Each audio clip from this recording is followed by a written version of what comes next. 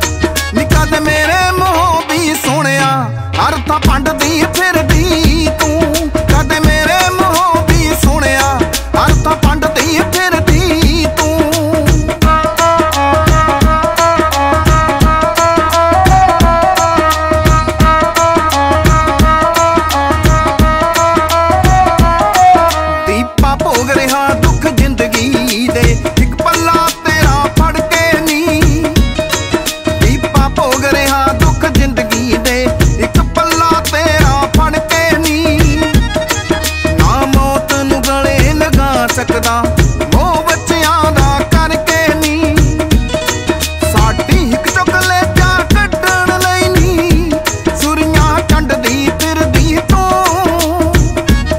ਨਿਕਾ ਤੇ ਮੇਰੇ ਮੂੰਹ ਵੀ ਸੁਣਿਆ ਅਰਥਾ ਪੰਡਦੀ ਫਿਰਦੀ